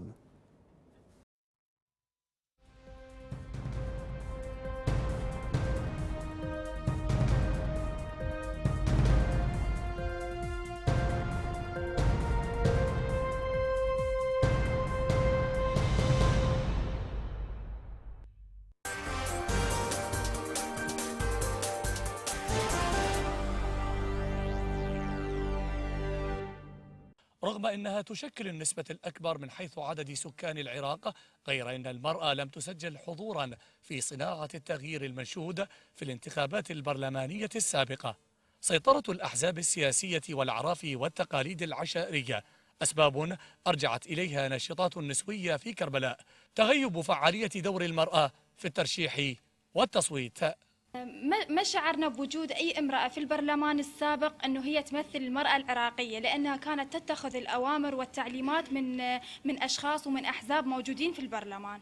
إحنا تدري عشائر عرب ويعني دائما إلمن يفضلون الرجل. فيعني من تصعد المرأة صعوبة تصعد صعوبة تصعد. البرلمانية اللي موجودة بالفترات السابقة ما ما إلها أي وجود كأنه مهمشة هي صح موجودة ولما تعطي الآراء تعطيها بس بدون تنفيذ بدون يعني أي أي يعني إلقاء من المقابل إلها فلهذا أعتبر وجودها مهمش. قوافل من الأرامل والمطلقات والمعتقلات لم تجد من يمثلها من بنات جنسها في مجلس النواب العراقي السابق بحسب ما أكدته ناشطات في مجال حقوق المرأة. كون المرأة النيابية كانت دائما ما تتبع الحزب أو الكتلة السياسية التي تنتمي إليها في إقرار القوانين الخاصة بالمرأة. أن تتساوى مع الرجل؟ يعني إحنا نقول المرأة نصف ال- المجتمع مو صحيح؟ يعني نصف الرجل تماما. فليش ما يخلوا للمرأة دور نصف النساء ونصف للرجال؟ فحتى تاخذ المرأة دورها. هنا نلاحظ المرأة آه، ما ما تثبت وجودها عندما تدخل البرلمان ولو هي مرأة على كل ثلاث رجال مرأة. لكن يجب أن تثبت وجودها داخل البرلمان داخل قبة البرلمان أن تناقش. انتخابات يعني نتمنى يكون للمرأة دورها الفعال وأن يكون صوتها مسموع ورأيها مسموع ويكون نصيبها للمطالبة بحقوق المرأة. آه، لأن المرأة تعتبر نصف المجتمع آه، والنصف الآخر يتربى على يدها. لذلك يجب أن يكون دورها فعال. ما أثبتته المرأة العراقية من توازن في أدوارها السياسية والاقتصادية والاجتماعية؟ يرى مراقبون بأن للمرأة العراقية دور في تصحيح المسار السياسي العراقي من خلال المشاركة الفعالة في العملية الانتخابية والسياسية في البلاد. من كربلاء المقدسة معتز المشداني التغيير.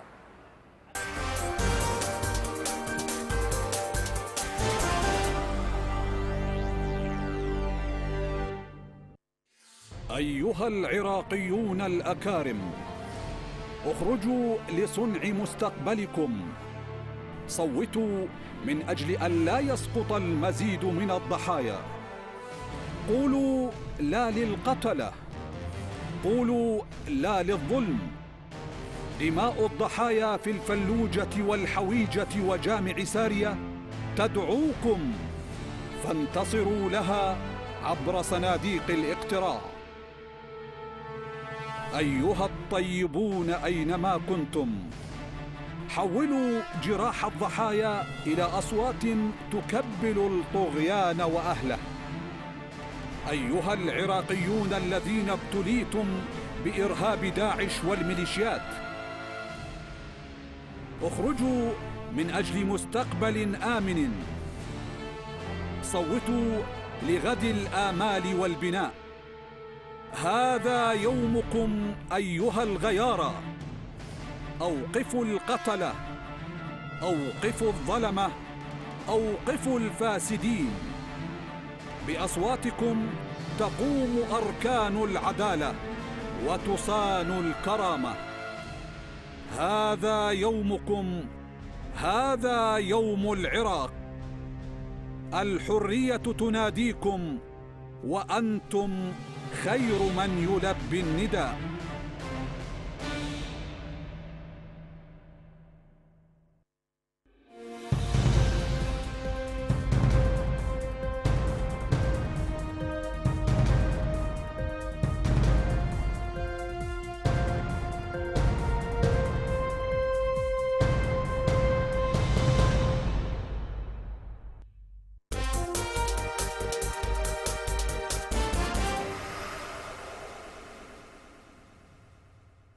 البطاقة الإلكترونية تعتبر طريقة جديدة عندنا في البلد.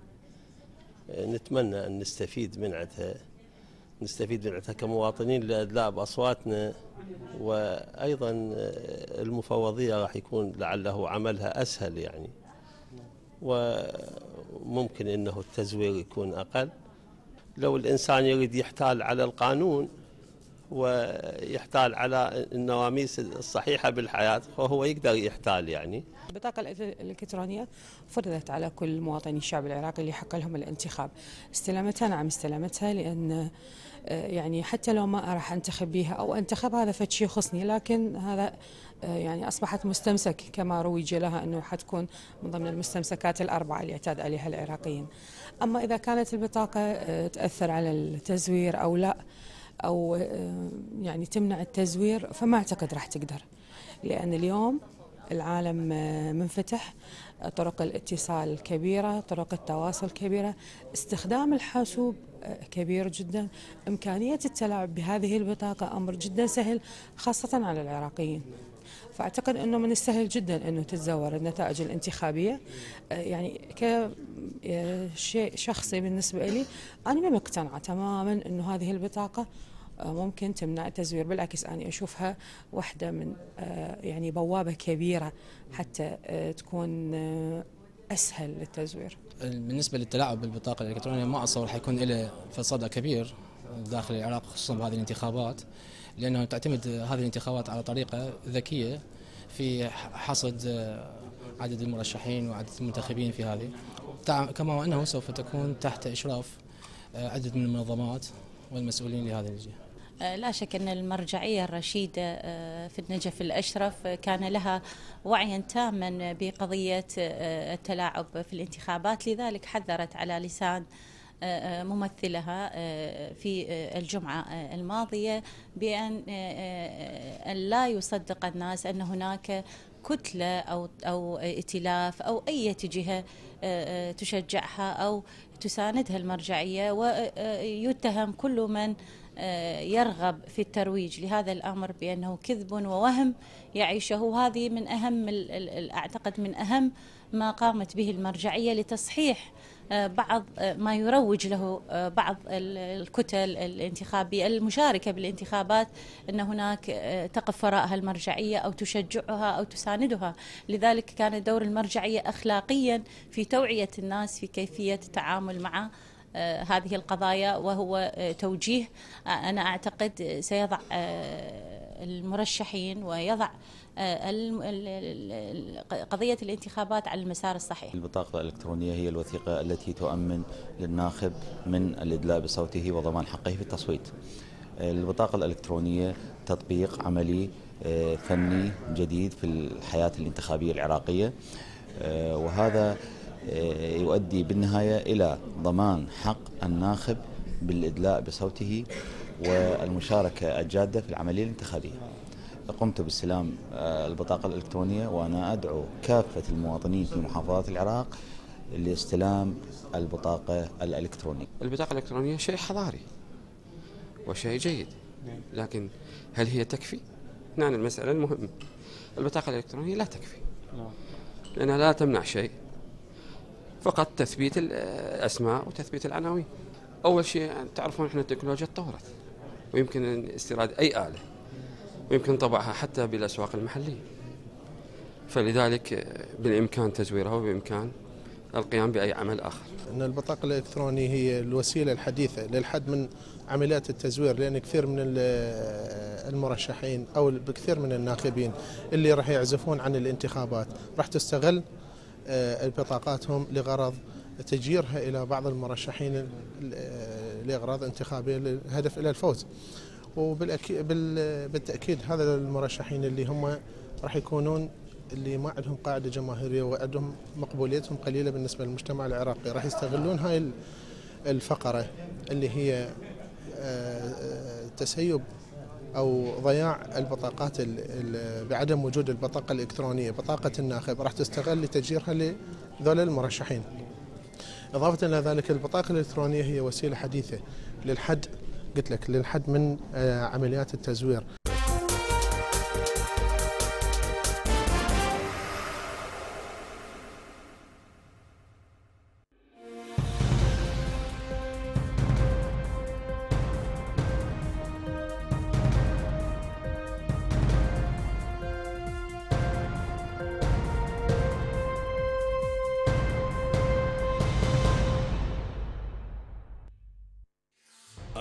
العراقيون الأكارم.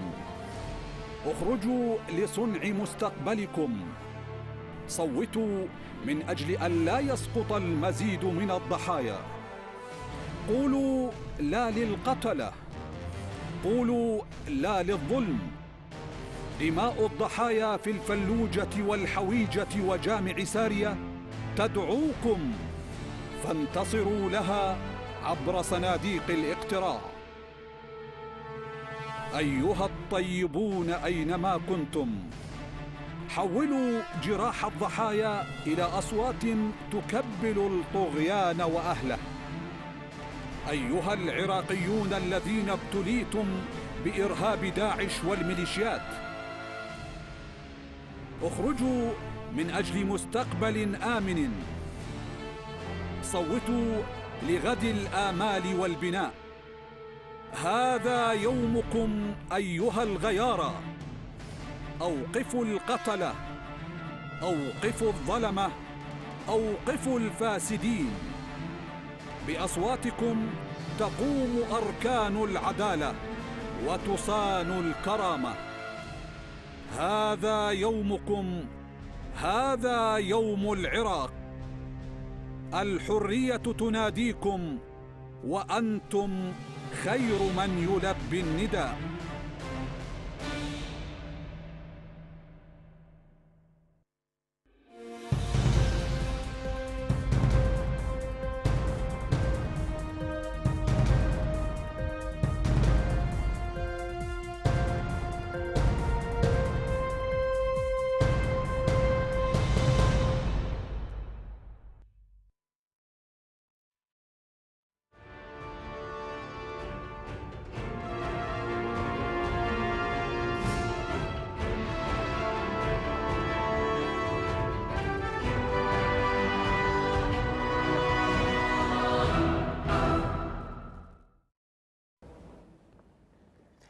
أسعد الله أوقاتكم مشاهدينا الكرام في هذه التغطية الخاصة من قناة التغيير الفضائية لأهم حدث يشهده العراق في هذه الأيام ألا وهو الانتخابات البرلمانية واختيار الشعب لما يمثله في البرلمان. والمهم في هذه الانتخابات أنه بسبب الأحداث الأخيرة التي مر بها العراق والشعب والمرجعيات الدينية السنية منها والشيعية والكتل السياسية التي ربما ترغب بتغيير شخوص الحكم. ومن جهة أخرى رئيس الوزراء نوري المالكي الذي يمسك بزمام السلطة وبالملف الأمني بيده لوحده ليحاول استحصال ربما ولاية ثالثة اليوم الأربعاء الثلاثين من نيسان إبريل وهو موعد التغيير المنشود وهو موعد الانتخابات البرلمانية العامة في عموم محافظات العراق والتي بدأت منذ أيام بانتخابات المهجر في 14 دولة بالإضافة إلى خمس دول ارتبط مراكزها بمكاتب الدول المجاورة ومن بعدها كان الاقتراع الخاص. في هذه التغطية ما هو مصير كل كتلة أو ائتلاف أو قائمة؟ ومن الذي سيظفر بمجلس أو ربما بمقاعد مجلس النواب والبالغ عددها 328 مقعدا هل ستكون هذه الانتخابات حرة ونزيهة كما تدعي مفوضية الانتخابات؟ وإن كانت هذه الانتخابات نزيهة أو ربما صار وحدث بها خروقات هل ستعترف المفوضية بهذه الخروقات وتضع يدها على موضع الخلل وستعلن ذلك؟ كل هذه الأمور سنطرحها في هذه التغطية مع ضيفي في الاستوديو الدكتور حميد عبد الله الكاتب والإعلامي. مرحبا بك. مرحبا بك. دكتور بداية يعني ما هو رأيك وكيف تنظر إلى الانتخابات البرلمانية التي يشهدها العراق اليوم في ظل كل هذه المعطيات الأمنية السيئة في العراق؟ مؤكد المعطيات الأمنية السيئة الآن هي أقل سوءا مما كانت عليه في الانتخاب في انتخابات 2005 نعم. والعراقيون يجسدون دائما نظرية المؤرخ البريطاني الشهير توينبي في التحدي والاستجابة. نعم. يستجيبون للتحديات وكل شعب تواجهه تحديات. إذا كانت استجابته لهذه التحديات بمستوى هذه التحديات يكون التطور قد وقف عند مستوى معين. نعم. ولكن عندما تكون الاستجابة أكبر من التحديات هناك تقدم. وفي العراق هناك تطور وإن كان تدريجيا وإن كان نعم. بطيئا وإن كان سلحفاتيا. لكن هناك تطور. أنا أعتقد الانتخابات ستشكل منعطفا خاصة هذه الانتخابات ستشكل منعطفا في تاريخ وفي مسيرة الشعب العراقي لترسيخ الديمقراطية. نعم. العراق كما تعلمين يمتلك إرث من الاستبداد على مدى عقود طويلة ويقابله تقابله تجارب جنينية للديمقراطية. العراق في تاريخه الحديث على الأقل منذ تأسيس الدولة العراقية عام 1921 وحتى الآن لم يعرف تجارب ديمقراطية حقيقية. حتى في ظل النظام الملكي يعني كانت هناك محاولات لترسيخ ديمقراطية فتية ولكنها لم تفلح بشكل واضح. عام 1954 حدثت انتخابات في العراق. وفاز فيها فازت فيها الأحزاب المعارضة ب 11 مقعد من أصل 131 مقعد لكن الحكومة لم لم تتحمل حتى هذه 11 مقعد. نعم. وحدث انقلاب القصر الذي قام به نور السعيد ولم يدم البرلمان سوى يوم واحد. نعم. اذا نحن أمام ارث من الاستبداد منذ 1921 مرورا بالعهود الجمهورية العهد القاسمي والعهد العارفي ب عهديه العارف الأول والعارف الثاني ثم عهد البعث الذي بدأ منذ 68 إلى أن انتهى بالاحتلال الأمريكي للعراق. نعم. فإذا نحن أمام تجربة ديمقراطية يفترض أن تترسخ تدريجيا لكن في هذه التجربة مشكلة في المفهوم وفي السلوك سنتحدث عنها لاحقا. نعم, نعم. دكتور سوف أكمل الحديث معك لكن يعني نستقبل معتز المشهداني مراسل التغيير من كربلاء. معتز ما هي آخر التطورات لديك في هذا اليوم الحاسم بالنسبة للانتخابات البرلمانية في كربلاء؟ نعم زميلتي فريال في البداية.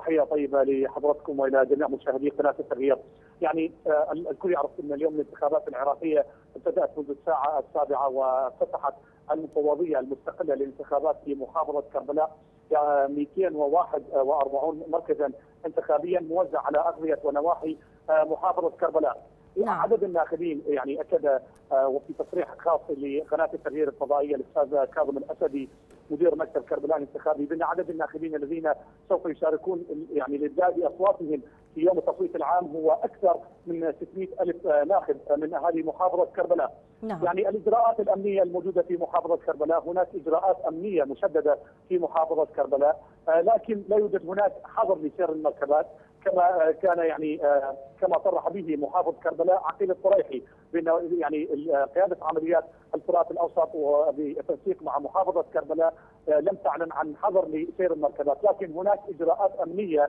مشددة اتخذتها القوات الأمنية من أجل حماية المراكز الانتخابية الموجودة في داخل وفي داخل مركز محافظة كربلاء وأيضا في أغذية ونواحي المحافظة.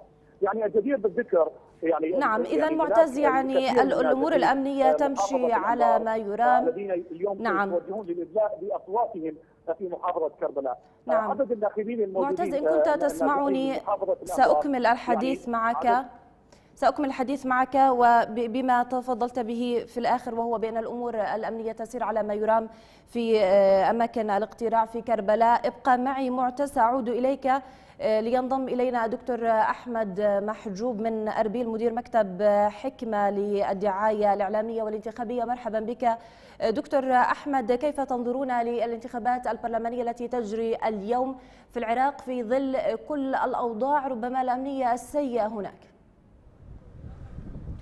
بسم الله الرحمن الرحيم. شكرا لك أخت فريال وشكرا لكادر قناة التغيير في أربيل وشكرا لكل إعلامي وصحفي خرج هذا اليوم لكي يغطي الحقيقة ولكي يحث الناس على ال- هذه الممارسة الديمقراطية هذه الممارسة التي ربما إن شاء الله وكلنا أمل ستكون آه، ممارسة فاصلة بإذن الله تعالى في تغيير حال العراق. نعم. ربما الأوضاع الأمنية في العراق هي التي آه، تلقي بظلالها على الواقع آه، الانتخابي في العراق اليوم. لكن بشكل عام بشكل عام اليوم الأحداث الأمنية التي حدثت في العراق لا تؤشر إلى مزيد من التصاعد في الحالة الأمنية كما آه، تابعنا ولاحظنا من خلال كثير من مصادر من المصادر الإعلامية حدثت في بداية هذا اليوم بعض الإشكالات في بعض المحافظات لكن بدأت تقل وبدأ الإقبال إقبال الناخبين على الانتخابات بشكل جيد وممتاز نعم. آه، ما أريد الوقوف عليه في هذه آه، اللحظة آه، أخت فريال هو حال النازحين العراقيين هنا آه، ال- حال النازحين في أربيل آه، حيث آه، توجد جملة من الإشكالات ربما نعم التي دكتور آه، أحمد وهذا ما آه، نود السؤال عنه إن نعم. كنتم قد رصدتم ربما أي حالة خروقات آه، في عملية التصويت لهذا نعم. اليوم وتحديدا يعني ربما النازحين لا من توجد الأنبار إلى. أربيل نعم لا أتحدث عن خروقات لكن أتحدث عن إشكال بسيط هو نعم. عدم وجود إحصائية كاملة للنازحين من الأنبار إلى محافظة أربيل لكن ما لاحظته واندهشت به وأفرحني كثيرا في هذا المركز الانتخابي الذي أقف أو أجلس أمامه هو أن حالة التنظيم الانتخابي تشهد حالة سلسة جدا وممتازة بحيث يأتي المواطن الأنباري إلى هذا المركز بمجرد أن يظهر البطاقة التموينية وبطاقة آه، السكن القديمة أو حتى الجنسية العراقية وحتى بعدم وجود بطاقة الناخب يستطيع أن يدخل وبسلاسة وبسهولة ليدلي بصوته في هذه نعم. الانتخابات نلاحظ من ساعة إلى الآن من عندما حضرت إلى هذا المركز إلى الآن تصاعد كبير آه، في وجود الناخبين آه، من النازحين من أهالي الأنبار الذين فاق عددهم على مئات الآلاف في مدينة أربيل. وهذا الأمر مفرح جدا حيث كان الأنباريون يخافون من مصادرة آه، حقهم في التصويت وإرادتهم في المراكز الانتخابية. لكن يبدو أن الواقع الأمني هنا في أربيل ألقى بظلاله الإيجابية على على مزاج الناخب. ما أدى إلى إقبال كثيف وواسع حتى أن أهل الأنبار أحضروا عوائلهم وأطفالهم معهم نعم. هنا إلى مراكز الانتخاب والحالة أشهدها وكما أراها سهلة وسلسة ومفرحة جدا وتؤشر إلى إرادة عراقية عالية جدا ورغبة عالية في التغيير وفي آه، ال- البدء بحياة جديدة إن شاء الله نعم اعتبارا من هذا يعني اليوم. دكتور آه، أحمد يعني الإرادة لدى الشعب العراقي إرادة التغيير موجودة لكن وردت شكاوي وتحديدا من أهالي محافظة الأنبار النازحين إلى أربيل بأنهم عندما يذهبون إلى مراكز الاقتراع يواجهون مشكلة بأنهم إن كانوا يحملون البطاقة الإلكترونية الخاصة بالتصويت يريدون البطاقة التموينية. إن كانوا يحملون البطاقة التموينية ولا يحملون البطاقة الإلكترونية يعني هناك حجج واردة في في ربما في الأوراق أو الثبوتات التي يحملها المواطن النازح من الأنبار. وهو خرج هاربا بسبب القصف الحكومي المتكرر على لك عما محافظه الأنبار. لاحظته. أتحدث لك عما لاحظته ورصدته هنا.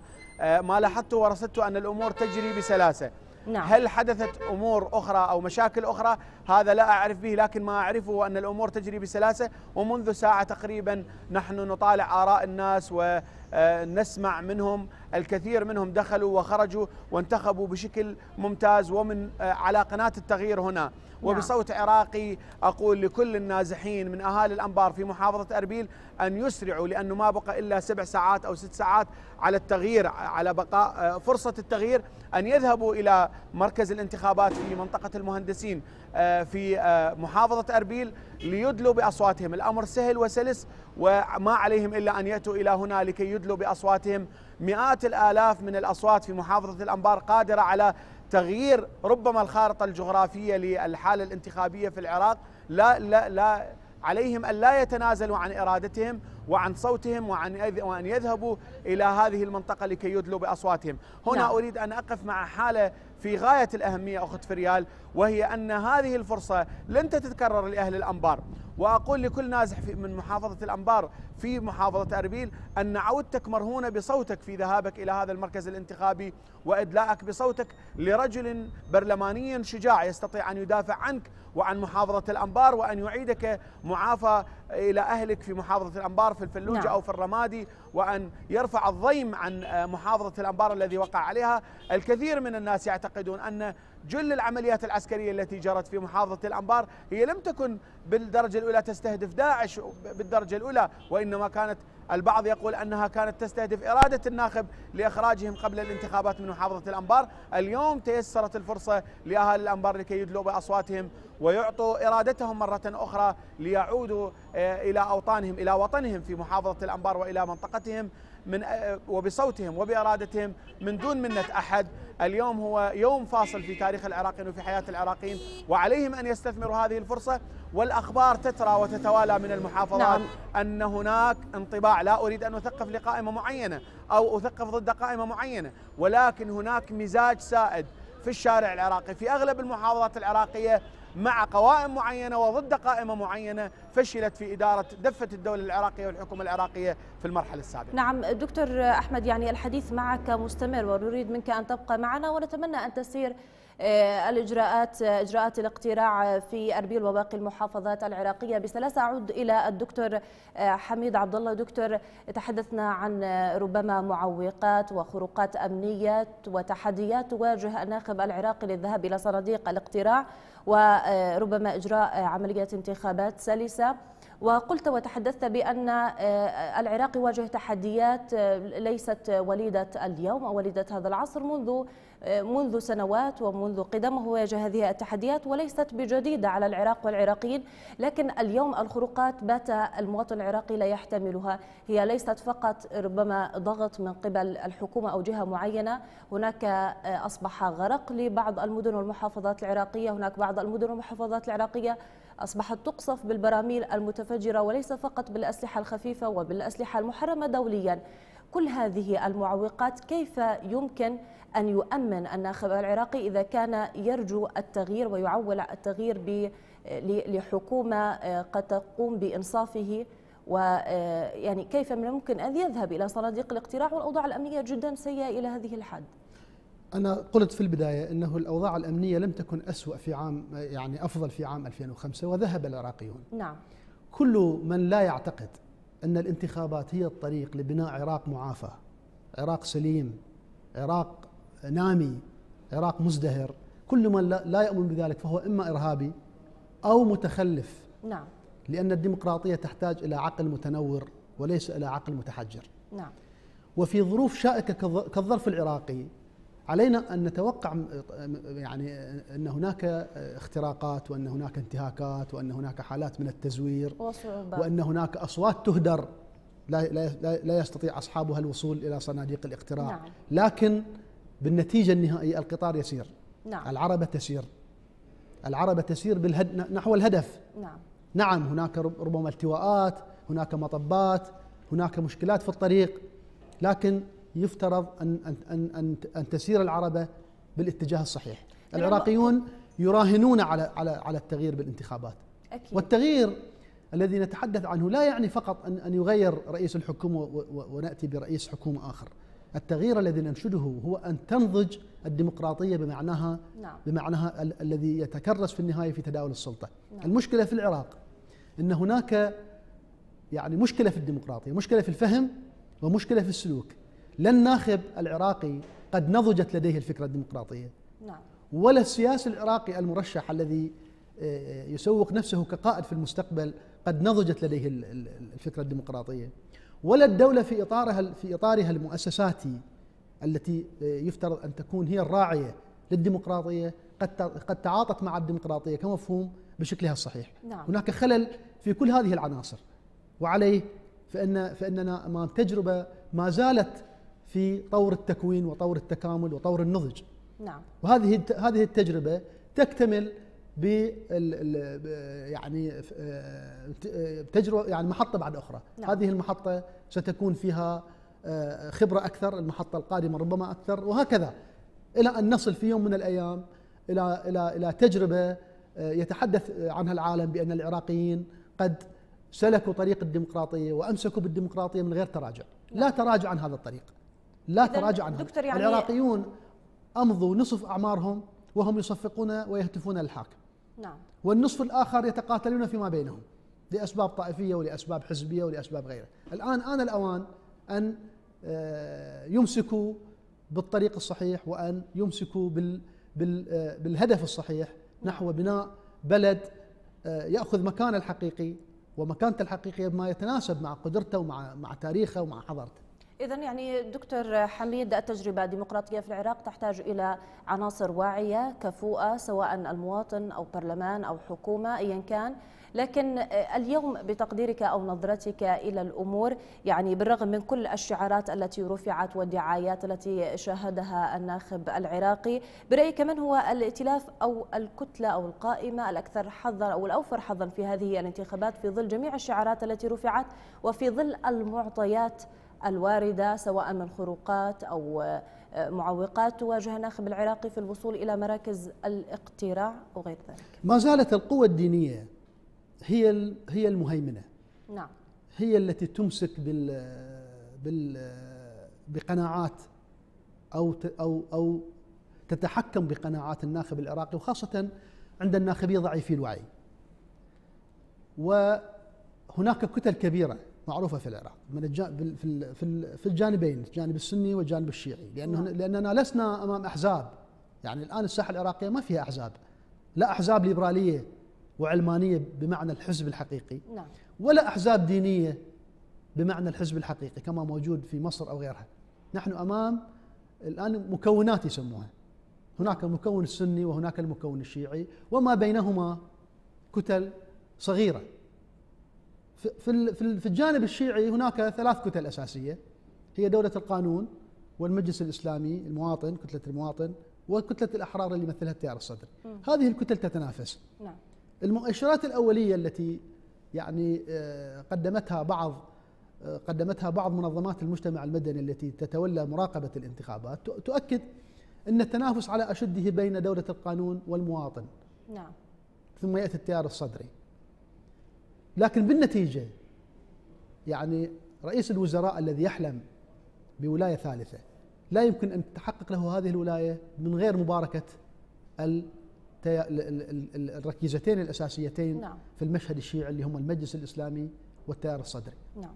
لذلك في هذا الجانب الكتل الثلاثية التي ستحصد أكبر الأصوات في الجانب الشيعي، وهناك في في في الجانب السني أو عند الناخب السني مع الاسف نتحدث بهذه اللغة لأن لكن نعم. هي هذا الواقع يعني يعني يفترض أن نتحدث نقول الناخب العراقي نعم. لكن التقسيمات الطائفية يعني جعلتنا أمام توصيف لابد أن نقف عنده في الجانب السني هناك كتلة متحدون ستأخذ أعتقد حصة الأسد بالانتخابات وهناك كتل أخرى العربية وغيرها ستأخذ جانب آخر من آه، يعني من المشهد الانتخابي. نعم، اذا يعني حظوظ ائتلاف دولة القانون غير راجحة الكفة في ظل المعطيات؟ لا أقول غير راجحة لكنها يعني لا, لا, لا يمكن أن تحصد آه، أصوات بما يجعلها بما يجعل لها الأرجحية الكاملة على نعم. بقية الكتل. نعم.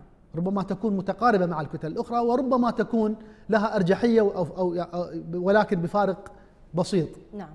ليس بفارق كبير كما كان كما كما يحلم كما يتوقع ويطمح يطمح يعني أهل دولة القانون. نعم. دكتور حميد يعني في ظل المعطيات التي تحدثت بها تشكل الانتخابات البرلمانية العراقية اختبارا هاما للديمقراطية الوليدة والجديدة في العراق في ظل أيضا ما تفضلت به قبل قليل من أن يجب أن يكون هناك وعي بمفهوم الديمقراطية لدى الجميع.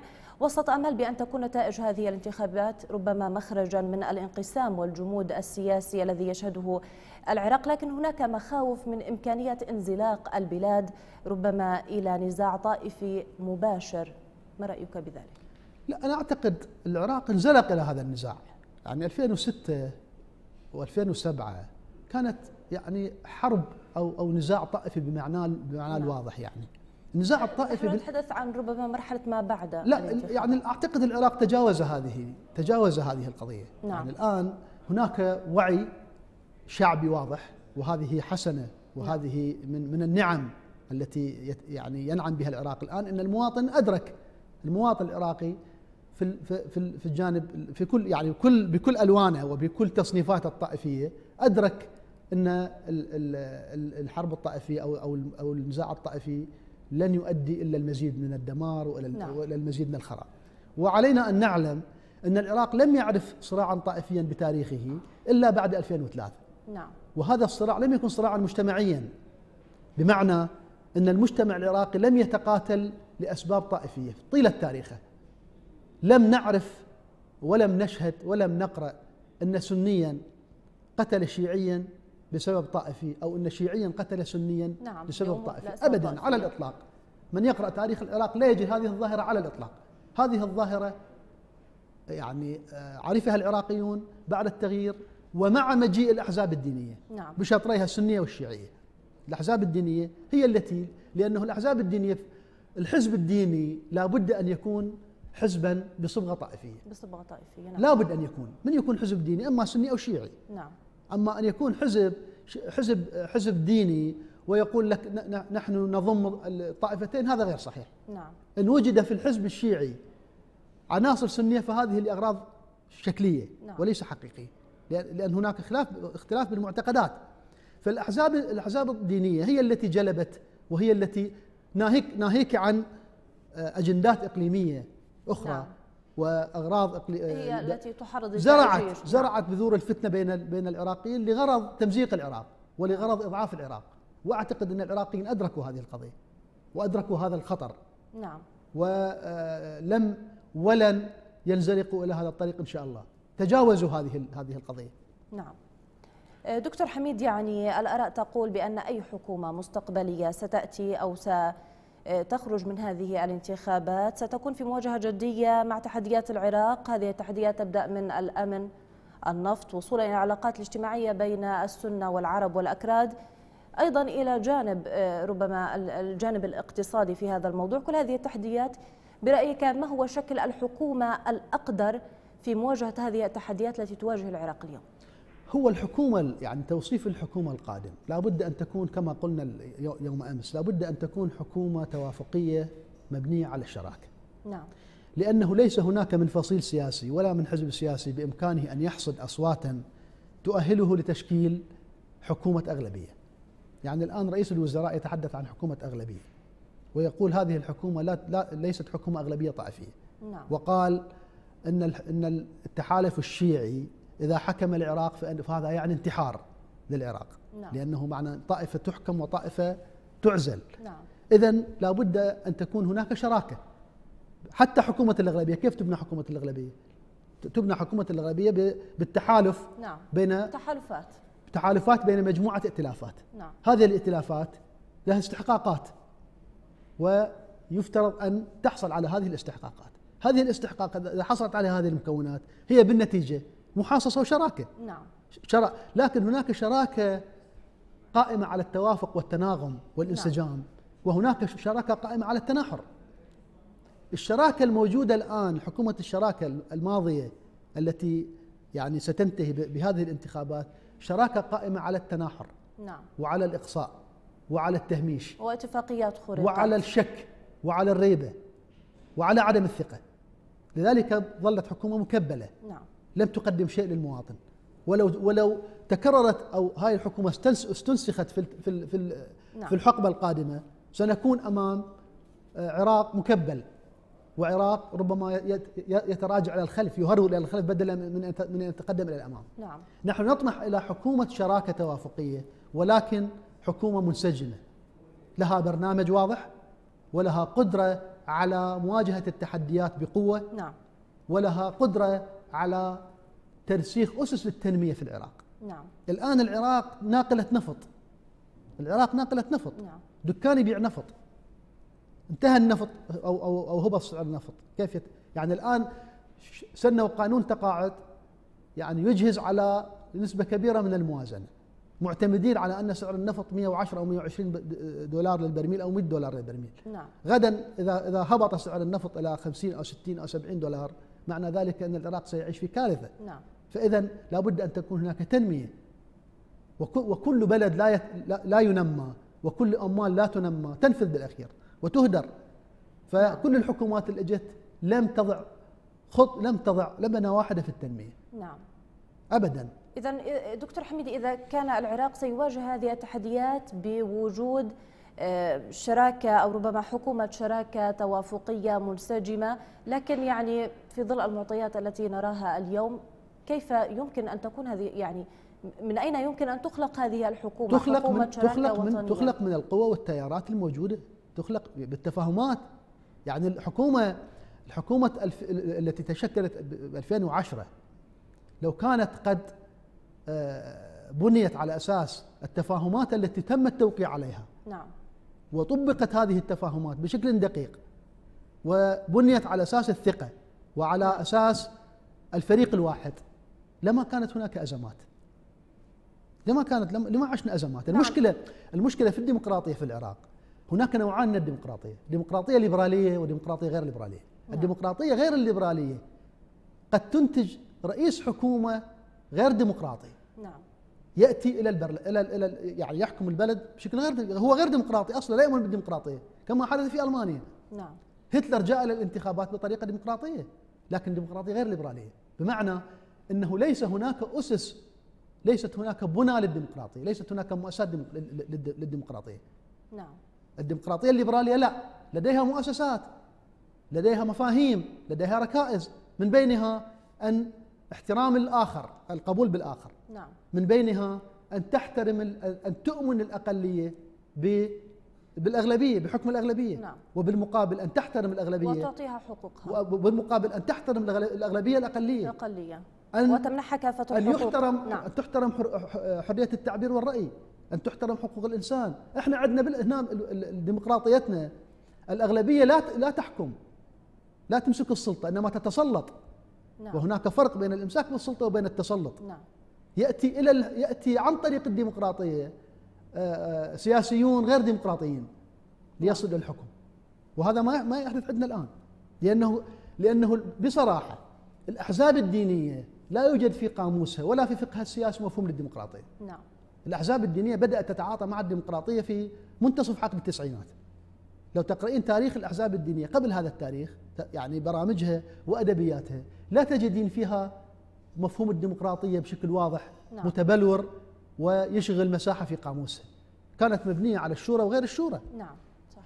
إذا تقرأين ال- النظام الداخلي للحزب الإسلامي العراقي يقول يهدف الحزب الإسلامي إلى أن يحكم الإسلام المجتمع حكما شاملا كاملا في جميع مف- مفاصل الحياة. نعم. وإذا عدنا إلى الشريعة للوصول الإسلام- إلى الديمقراطية. وإذا عدنا إلى الشريعة الإسلامية ليس فيها ديمقراطية بهذا المعنى الذي نعم. نتحدث عنه.